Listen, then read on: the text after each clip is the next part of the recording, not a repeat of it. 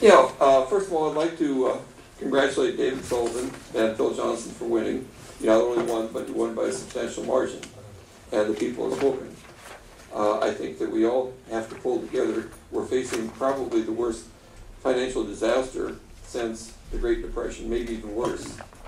So we're, we're all going to have to work together, and we're going to have to, to uh, come up with a common strategy to, to deal with these problems. Uh, I, the, the Port Townsend cannot survive without the county. The county doesn't need Port Townsend.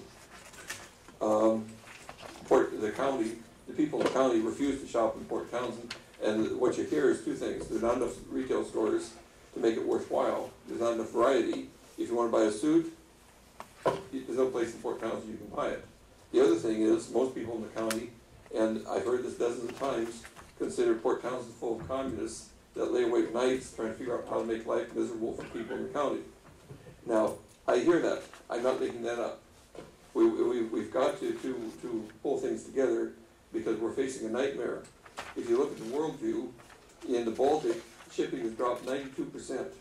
Iron ore prices have gone from $145 down to $45 and no takers. We're, we're facing a, a collapse of, of the world economy, and it's going to have drastic effects on Port Town, uh, and the county. So the only way we're going to get through this is if we all work together and we come out with with uh, common strategies. And uh, as far, as enforcement, we're not going to have money to, for ecology. We're not going to have money for enforcement. Uh, it's going to boil down to, to survival, making sure people have food, heat, and uh, and uh, know how to grow grow their own victory gardens like they did in WW2. It's really going to be difficult. So I, I hope that uh, all three of you I think that all three of you have, have the intelligence and ability to, to rise to the occasion. And uh, I, for one, will, will, be happy to work with you any way possible. As far as I'm concerned, the clock has been reset.